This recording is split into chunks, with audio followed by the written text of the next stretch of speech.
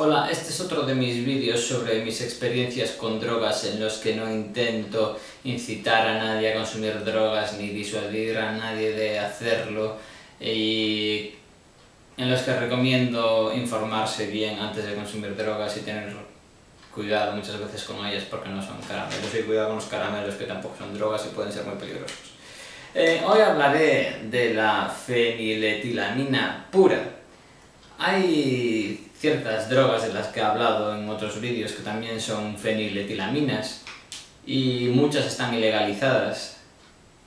Pero esto que es feniletilamina hydrochloride, que es hidrocloruro de feniletilamina porque pone HCl, anyway.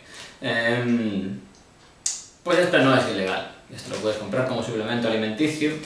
Entonces lo compré aquí porque era súper barato, ya han dejado de producirlo eh, pero en otros sitios lo puedes comprar perfectamente.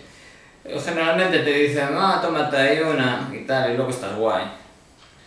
Ya no sé si luego estás guay, yo nunca me tomé una así sola. Eh, el tema es que si te tomas tres, tres de 500 miligramos, con lo cual serían 1500 miligramos, y esperas unos, entre media hora, una hora, 45 minutos, una hora por ahí, em, te empieza a subir y notas como si estuvieras de MDMA durante unos 5 minutos o así. Eh, ¿Qué tiene de bueno? Pues que es fácil de conseguir, que es barato, que te lo puedes tomar en un rato que tienes libre y luego se te baja y sigues haciendo cosas, que me parece que no es muy pernicioso para la salud, pero si búscalo tú, no me hagas mucho caso. ¿Y qué tiene de malo? Pues pero de 5 minutos, oye, 5 minutos, esto es una tomadura de pelo, oye. Eh, una amiga mía le llamaba la demo. Eh, decía que lo deberían llevar los traficantes de, de MDMA. Eh, y decir, mira, prueba esto, si te gusta, te, te vendo del otro. Porque es muy parecido, es muy, muy, muy parecido. Eh, yo a veces cuando me empiezo así a notar un poco tomo una cuarta, o sea, otra dosis, otra cápsula más, y creo que luego se prolonga eso un poco. Y luego es cierto que he ido tomando así y luego de allá un rato otras tres y luego no sé qué, y he ido prolongando un poco eso, pero mm, no siempre, o sea, no es tan fuerte y muchas veces no te hace efecto. Es raro, a veces incluso con las tres o las cuatro iniciales, pero los tomas y no te hace efecto y no sé muy bien por qué, a qué se debe.